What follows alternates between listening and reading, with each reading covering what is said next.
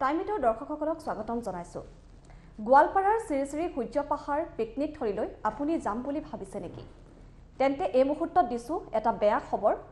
পোন্ধৰ ডিচেম্বৰ অৰ্থাৎ কাইলৈৰ পৰা এই পিকনিক থলীলৈ যোৱাটো সম্পূৰ্ণৰূপে বন্ধ কৰি দিয়া হৈছে। এই মুহূৰ্তত এটা গুৰুত্বপূৰ্ণ খবৰ লৈ আহিছোঁ। গোৱালপাৰাৰ শ্ৰী শ্ৰী সূৰ্য পাহাৰত বন্ধ কৰা হৈছে বনভোজ। সূৰ্য পাহাৰৰ মহাপীঠ স্থানত পোন্ধৰ ডিচেম্বৰৰ পৰা অৰ্থাৎ কাইলৈৰ পৰা এই বনভোজ খোৱাৰ বাবে বন্ধ কৰি দিয়া হৈছে। সিদ্ধান্ত ল'লে সূৰ্য পাহাৰ মহাপীঠ স্থান কমিটিয়ে। মহাপীঠ স্থান নিকাকৈ ৰখাৰ বাবে এই সিদ্ধান্ত গ্ৰহণ কৰা হৈছে। তীৰ্থযাত্ৰীৰ বাবে সূৰ্য পাহাৰৰ দুৱাৰ খোলা থাকিব বুলি মন্তব্য কৰিছে কমিটিখনে। আমি জনাই আছোঁ এই মুহূৰ্তত এটা গুৰুত্বপূৰ্ণ খবৰ যিহেতু ডিচেম্বৰ মাহ পিকনিক খোৱাৰ বতৰ আৰু বনভোজস্থলীত যথেষ্ট ভিৰ লাগিছে। তেনে সময়ত আহিছে এই খবৰটো গোৱালপাৰাৰ শ্ৰী শ্ৰী সূৰ্য পাহাৰত এতিয়াৰে পৰা পিকনিক খাব নোৱাৰিব। বনভোজ যাত্ৰীসকলৰ বাবে এটা বেয়া খবৰ আমি দৰ্শকক দি আছোঁ। সূৰ্য পাহাৰৰ মহাপীঠ স্থানত পোন্ধৰ ডিচেম্বৰৰ পৰা বন্ধ কৰা হৈছে বনভোজ। সূৰ্য পাহাৰ মহাপীঠ স্থান কমিটিয়ে এই সিদ্ধান্ত গ্ৰহণ কৰিছে। মহাপীঠ স্থান নিকাকৈ ৰখাৰ বাবে এই সিদ্ধান্ত গ্ৰহণ কৰা হৈছে। তীৰ্থযাত্ৰীৰ বাবে সূৰ্য পাহাৰৰ দুৱাৰ খোলা থাকিব বুলি মন্তব্য কৰিছে।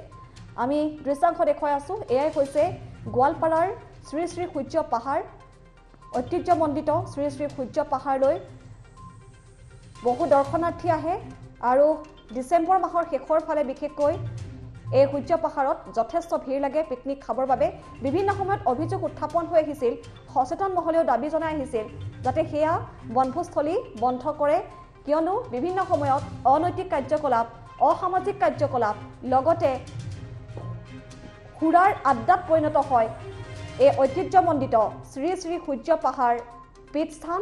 গতিকে অনতিপলমে এই পীঠস্থান যাতে বনভোজস্থলী ৰূপে গঢ়ি তোলাৰ ক্ষেত্ৰত বাধা আৰোপ কৰে এই ক্ষেত্ৰত দাবী জনাই আহিছিল। আৰু শেহতীয়াকৈ আহিছে এই খবৰটো আমি ইতিমধ্যে জনাইছোঁ গোৱালপাৰাৰ শ্ৰী শ্ৰী সূৰ্য পাহাৰত বনভোজ খাব নোৱাৰিব।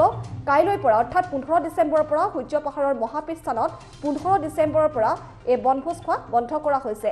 এই সিদ্ধান্ত লৈছে সূৰ্য পাহাৰ মহাপীঠ স্থান কমিটিয়ে।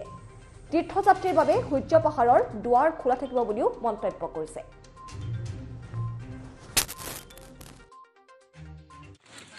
কাম কৰি থকা আমাৰ শ্ৰদ্ধাৰ বাতৰি কাকত আৰু টিভি চেনেলত কাম কৰা আমাৰ সঞ্চালনা সমিতিয়ে আন্তৰিক শুভেচ্ছা জনাইছোঁ।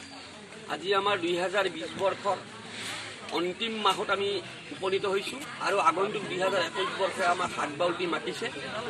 আমি দুইটা বৰ্ষ আগন্তুক নতুন বছৰ আৰু আমাৰ হৈ যোৱা পুৰণি বছৰটোৰ আটাইৰে আমি মংগল কামনা কৰিছোঁ। সূৰ্য পাহাৰ মহাপীঠস্থান পৰিচালনা সমিতিয়ে সমগ্ৰ অসমবাসী ৰাইজৰ মংগল কামনা কৰিছোঁ। আৰু এই পবিত্ৰ ভূমিৰ পৰা আমি আশা কৰিছোঁ যাতে আগন্তুক নতুন বছৰটো আমাৰ আটাইৰে কাৰণে সুখময় সমৃদ্ধিময় আমি আটাই যাতে সুস্থ শৰীৰে বসবাস কৰি থাকিব পাৰোঁ আৰু আমাৰ এই জীৱ জগত আৰু জনজগতৰ যাতে ভগৱন্ত প্ৰভুৱে মংগল কামনা কৰে তাকেই এই মুহূৰ্তত আমি কামনা কৰি আজিৰ এই সংবাদমেল আপোনালোকক সম্বোধন কৰিব ওলাইছোঁ। আজিৰ এই সংবাদমেলখন আহ্বান কৰাৰ মূল বিষয়টো হৈছে যে সূৰ্য পাহাৰ মহাপীঠস্থান যিহেতু এখন ত্ৰিধৰ্মৰ ধৰ্মীয় পৰ্যটন ক্ষেত্ৰ। এই ধৰ্মীয় পৰ্যটন ক্ষেত্ৰত সূৰ্য পাহাৰ মহাপীঠস্থান পৰিচালনা সমিতিয়ে অতীত কালৰ পৰাই ৰজাৰ দিনৰ পৰাই ইয়াতেই পবিত্ৰ মাঘী পূৰ্ণিমা দিনাখন বিষ্ণুযজ্ঞ সহ মেলা মহোৎসৱৰ আয়োজন কৰি আহিছোঁ। আমি আহি আহি বৰ্তমান পবিত্ৰ মাঘী পূৰ্ণিমা দিনাখন যজ্ঞ আৰম্ভ কৰি পাঁচদিনীয়াকৈ বিষ্ণুযজ্ঞ আৰম্ভ কৰিছিলোঁ। এই পবিত্ৰ ভূমিত ত্ৰিধৰ্মৰ যিহেতু মিলনভূমি এই মিলনভূমিত আমি সময়ৰ তাগিদাত মহাপীঠস্থানখনৰ উন্নয়নৰ স্বাৰ্থত আমি ইয়ালৈকে বনভোজ আহিবলৈ দিছিলোঁ। অতীতত আমাৰ ইয়াতেই কোনো ধৰণৰ আমিষ আহাৰৰ ব্যৱস্থা নহৈছিল। কিন্তু দুৰ্ভাগ্যজনকভাৱে মহাপীঠস্থান পৰিচালনা সমিতিয়ে মহাপীঠস্থানৰ উন্নয়ন আৰু যাৱতীয় কাম কাজ কৰাৰ স্বাৰ্থত অৰ্থৰ নাচনি হোৱা হেতুকে আমি ইয়ালৈকে বনভোজ আহিব দিছিলোঁ আৰু বনভোজকাৰীসকল ইয়ালৈকে আহি যথেষ্ট আনন্দিত হৈছিল আৰু ইয়াতে আমিষ আহাৰ তেওঁলোকে ব্যৱহাৰ কৰিছিল। কিন্তু এইবেলি যোৱা ছয় ডিচেম্বৰ তাৰিখে আমাৰ বৰ্তমানৰ পৰিচালনা সমিতিয়ে এটি কঠোৰ সিদ্ধান্ত ল'বলৈ বাধ্য হ'লোঁ।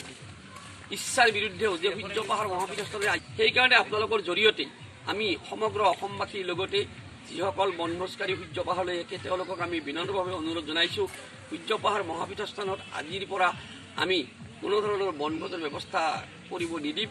যদি কোনোবা তীৰ্থযাত্ৰী বা ভ্ৰমণকাৰী সূৰ্য পাহাৰ দৰ্শন কৰিবলৈ আহে সেইটো সুকীয়া কথা হ'ব। ইয়াতে কোনো আমিষ আহাৰৰ ব্যৱস্থাটো নহ'ব। যিসকলে ইয়াতে দৰ্শন কৰিবলৈ আহে তীৰ্থ ভ্ৰমণ কৰিবলৈ আহে ভ্ৰমণকাৰী বা তীৰ্থ ভ্ৰমণকাৰীসকলৰ কাৰণে আমি এই ব্যৱস্থাটো ৰখা নাই। তথাপি আমি যি ব্যৱস্থা হ'ব ইয়াতে নিৰামিষৰ বাহিৰে বেলেগ ব্যৱস্থাটো নহ'ব কোনো আমিষৰ ব্যৱস্থা নহ'ব মদ মাংসৰ ব্যৱস্থাটো নহ'ব। আজিকালি যিটো উশৃংখলতা সূৰ্য পাহাৰৰ যিটো পবিত্ৰতা ইয়ালৈকে যেতিয়া বনভোজ খাবলৈ আহে তেতিয়া যিবিলাক চাউণ্ড ছিষ্টেম লৈ আহে ইয়াৰ পৰিৱেশটো বিনষ্ট হৈ যায়। ইয়াতে আপোনালোকক আজি আমি জনাবলৈ সুখী হৈছোঁ যে সূৰ্য পাহাৰৰ মহাপীঠস্থলত আপুৰুগীয়া বহু জীৱ জন্তু আছে।